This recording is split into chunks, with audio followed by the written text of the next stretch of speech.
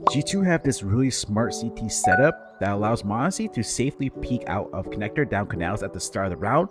that involves this instant bottom stairs smoke that blocks off where the AWPer would usually hold and then NiKo also gets dropped the smoke so he can smoke a bridge at the start follows up with this flash here that is going to go out of the window here and then you're going to see m0NESY is going to peek after this flash. He peeks to the left of the arch since he knows the right is smoked off. The T-side AWPer is forced out of position, can't even play behind the arch which would avoid that flash and is going to get flashed and re-peeks into m0NESY here.